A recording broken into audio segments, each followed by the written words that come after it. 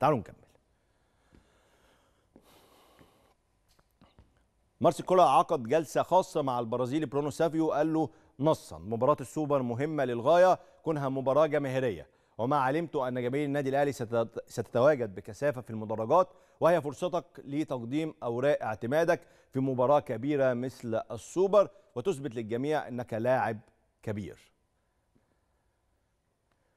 ده اللي بيدور في النادي الأهلي. لسه في حاجة تاني؟ ولا خلاص كده. ماشي. يلا.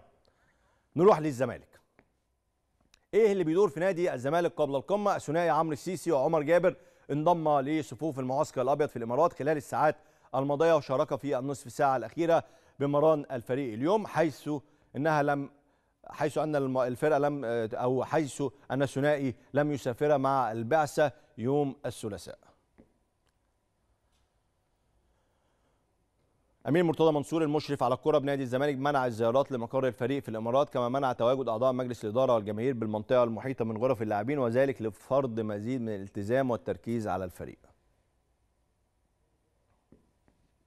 كمان البرتغالي جوزفالدو فيريرا المدير الفني للزمالك عقد جلسة مع لاعبي الفريق قال لهم فيها الموسم الماضي انتهى بكل ما فيه.